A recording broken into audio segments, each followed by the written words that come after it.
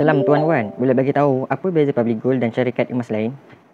Saya boleh nyatakan 8 perbezaan yang anda boleh semak. Tapi saya nak bagi tahu 3 sahaja. Lagi 5, saya pernah share di TikTok atau Facebook saya Atau anda boleh sahaja semak dekat blog guru emas saya Iaitu 5 kriteria penting memilih emas pelaburan. 3 yang saya maksudkan tadi ialah yang pertama Public Gold ditubuhkan sejak 2008 lagi. Pada saya, saya belum percaya syarikat emas yang dalam syarikat itu Ada orang berpengaruh atau ada sijil patuh syariah. Sebab sijil boleh dijual beli Orang berpengaruh boleh ditipu begitu sahaja Tapi ada satu perkara agak sukar diputar belit Iaitu saya lebih yakin jika berapa lama penubuhan sebuah syarikat itu. Saya mengambil nasihat daripada Jack Ma iaitu seorang usahawan Cina. Kata Jack Ma, jangan sesekali menipu orang lain dalam urusan perniagaan ataupun dalam hidup. Pada tahun 1995, saya ditipu oleh empat syarikat yang kini sudah tidak wujud lagi. Syarikat yang menipu tidak boleh bertahan lama. Kedua, Public Gold bukan sekadar syarikat jual beli emas tapi Public Gold memberi knowledge kepada pelanggan. Sejak awal penubuhan Public Gold lagi, Public Gold dah buat seminar di cawangan-cawangan Public Gold. Sekarang bukan setakat seminar di cawangan sahaja, bahkan setiap minggu ada seminar tentang emas melalui online di Facebook atau YouTube. Anda boleh follow Facebook atau YouTube Public Gold atau Public Gold by G100 Network iaitu tim terberasal dalam Public Gold.